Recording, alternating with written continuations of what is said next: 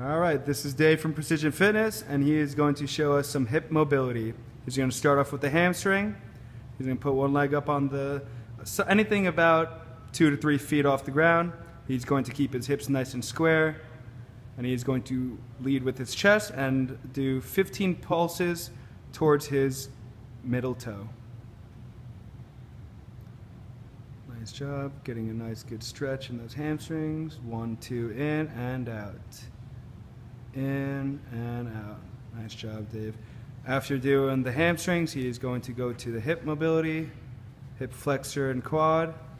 He's going to put one knee on the black pad, one knee down. He's going to keep his abs very tight, his glutes engaged, and he's going to give me the same thing, a nice little pulse. He's going to squeeze his glutes into it, one, two, in and back, in and back. Doing a great job, Dave. He's doing a very good job, not arching at the lower back. Keeping those abs nice and tight and hips engaged. One, two, in and out. Nice stretch here, Dave, right? Absolutely.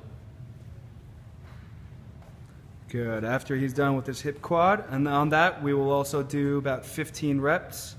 Next one, he's going to do his inner thigh mobility. He's going to have one knee down, one foot out to the side. He's going to sit his butt back, and then he's going to walk his hands forward. Good. Bringing his hips underneath him. Staying nice and squared up. Good. And Dave, show them where you're feeling that stretch. Yep, right in those inner thighs. Good, and he's to switch sides. On this, I would like us doing about 10 per side. Job, nice job staying nice and squared. And same thing, feeling a real good stretch in the inner thighs.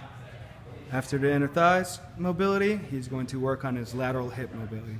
So in this one, he's going to take his legs, swing at about a 45 degree angle, reaching out with the arms at the same time, really sinking into it, keeping his hips nice and closed and in a good position. So he's going to go one, two, in, and then out, and then switch sides. This one we'll do same thing, 10 per side. In this exercise, we want to make sure that we keep our hips in a nice closed position. Dave, show them what a hip open position looks like. Yep, we don't want to see that. Good job. All right, that's our hip mobility. Thank you.